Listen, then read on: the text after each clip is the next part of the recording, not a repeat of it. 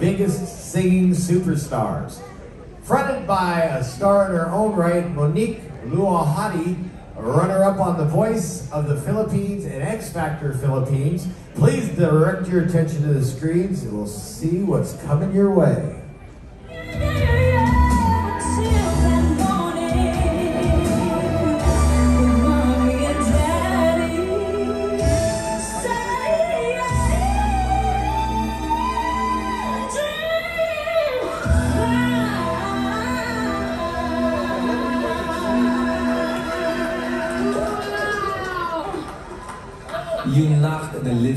Daylights out of me. At talagang poof!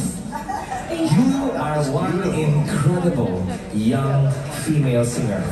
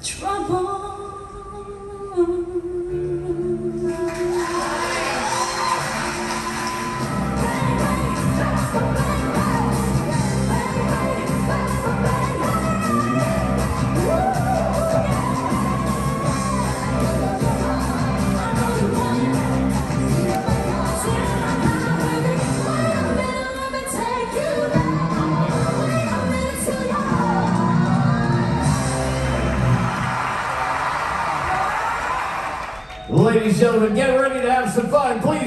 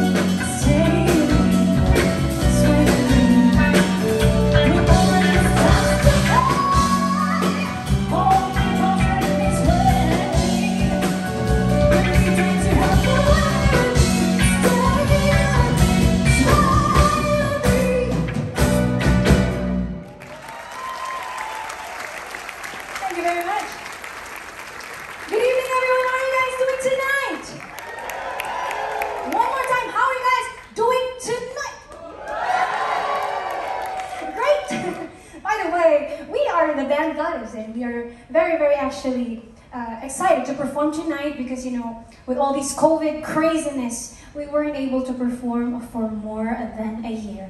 And right now, it just feels really, really great to be back and perform for all of you again. Right, guys? And I'm sure a lot of you here, or rather all of you here, are also excited to have fun tonight. Is that right? Yeah. All right. Now, why don't we introduce ourselves one by one? Hello, once again, my name is Monique. Hi, I'm Raniel. My name is Paul. And I'm Joey. Hello, I'm Alex.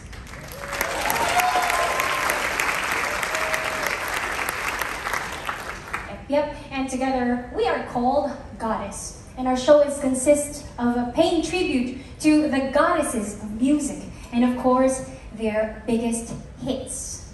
Then we also do songs from male artists that you all can enjoy. So yeah. And uh, by the way, we are all from the Philippines. You know, our country made up of 7,107 islands. but except for when it rains, because when it rains, we go down to, I think, 125.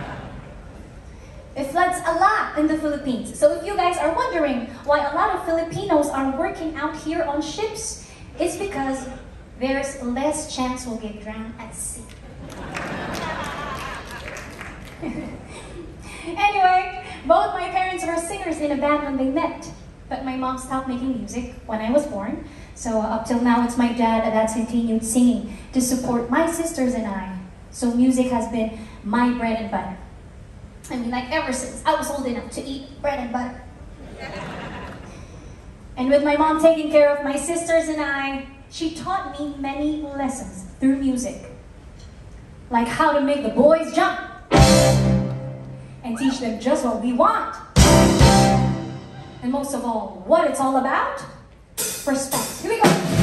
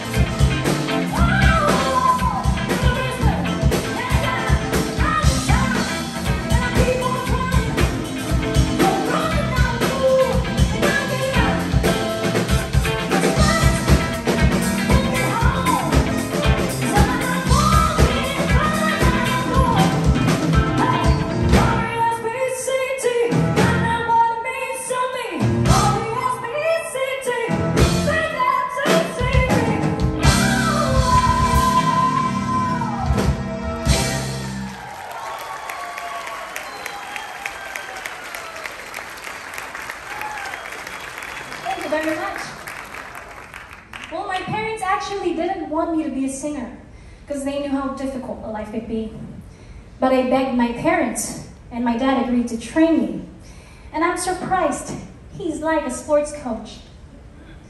He made me run while I was singing for me to learn how to breathe properly. And he even told me that singing is not to impress, but to express. He's such a strict coach that once he made me spend two hours rehearsing the same opening line of this next song until he believed that I meant what I sang.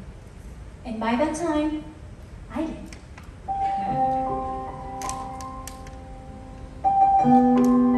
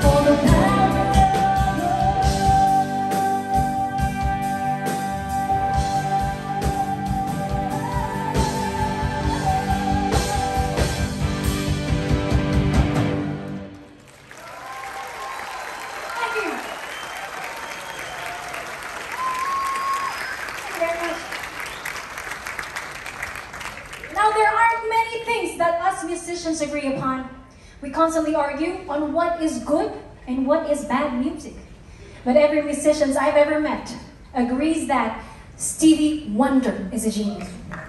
In fact, he wrote, sang, and played every instrument on the recording for his number one hit. Let's go!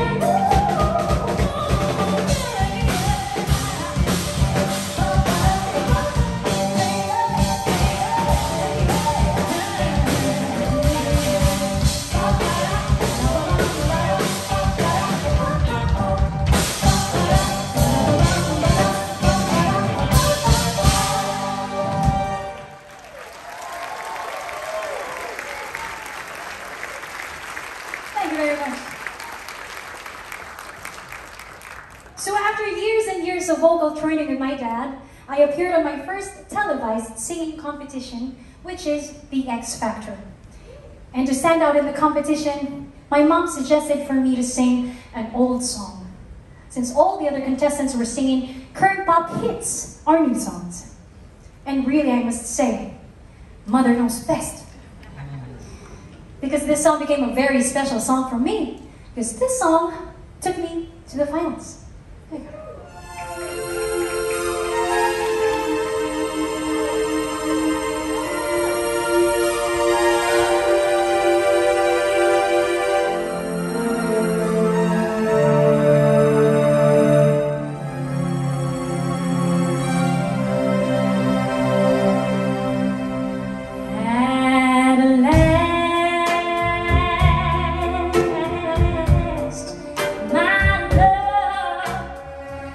come along.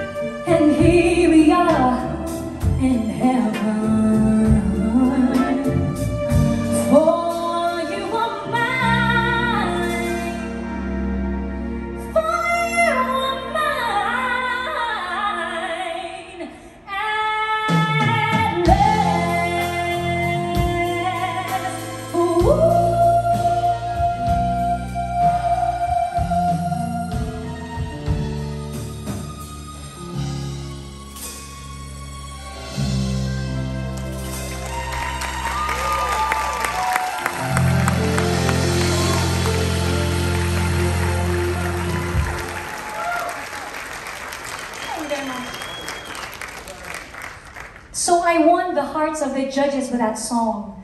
But unfortunately, I lost the finals. It's because I didn't get enough texting votes or like viewers votes. But did I let that get me down? Of course. I cried in my room for a week. but you know, I just have to think of my inspirations to keep me going. Time I think of my inspirations, I think of two women. That's my mom, and of course, the amazing Miss Tina Turner. I could never forget the first time I saw my mom perform this song. I was only four then. One thing came into my mind. I want to sing this song. And when she showed me the video of Miss Tina Turner, I said, wow, I want to be like her. And yes, I'm going to be like her. Sing on a big stage like this. Performing in front of audience like you guys.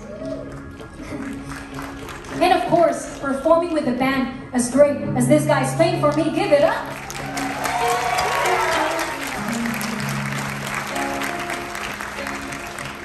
Well, it's like a dream come true. One, two, and we're rolling, rolling, rolling on the river. Sing to the song. Left a good job in the city, working for the man every night and day. And I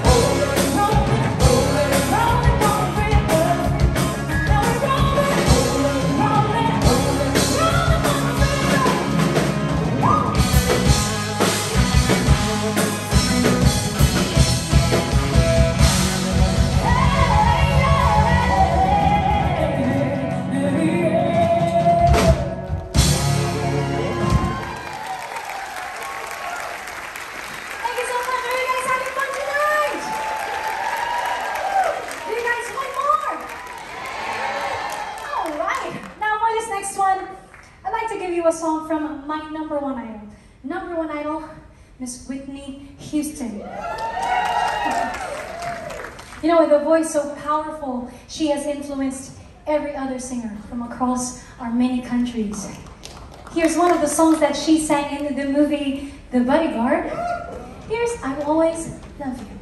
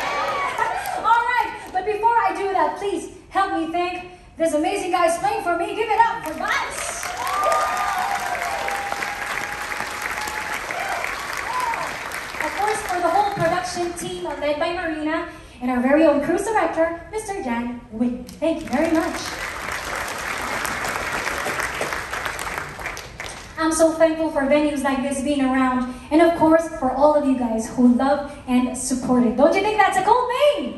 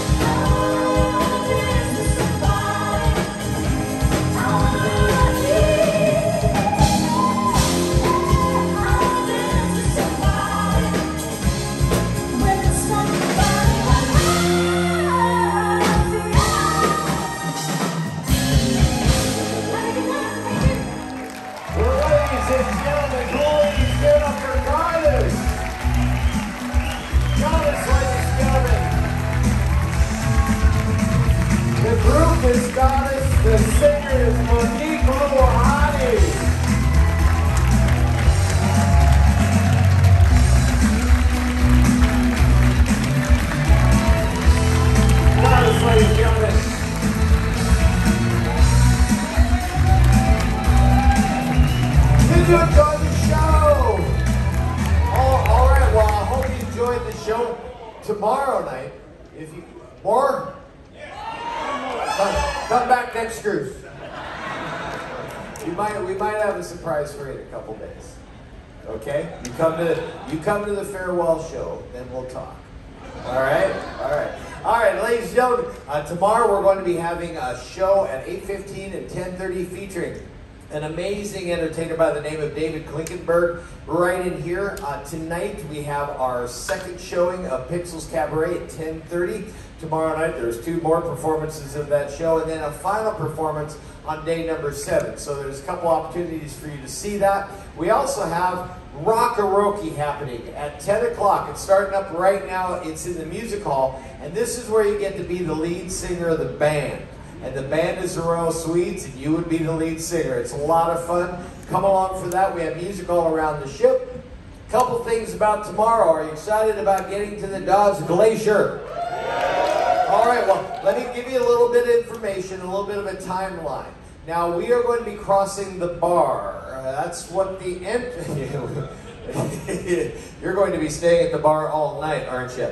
Uh, no, the bar is actually what they call the entrance into the Endicott Arm. It's called the bar. Uh, we estimate the time to cross the bar at 6 o'clock in the morning. Yay! So y'all can stay up all night long, right? No. Okay. All right, now, after we cross the bar at approximately 6 a.m., it all depends on weather conditions. It's about 30 miles up to the Dawes Glacier. Now, generally speaking, they're estimating from the bridge the time that we're going to be around the glacier from 8 until 9 a.m. tomorrow morning, okay? Now, the captain will get as close as he can. Navigationally, he'll move as much as he can navigationally. It all depends on how many little icy bits there are and what the weather is like and what the conditions are. So that's kind of a guideline for tomorrow. And uh, just to let you know, I know I've told other people about this. Uh, going out at 10 a.m. at the Endicott Arm across that bar looks almost the same as crossing it at 6 a.m. if you catch my drift, all right? So that's the way that's going to happen tomorrow. It's a great uh, experience. It's beautiful, a big fjord with all the waterfalls coming down, and uh, we hope you enjoy it. But right now, it is time to enjoy something else. It's called Staggered Release. Yay! Oh, my favorite part. So right now,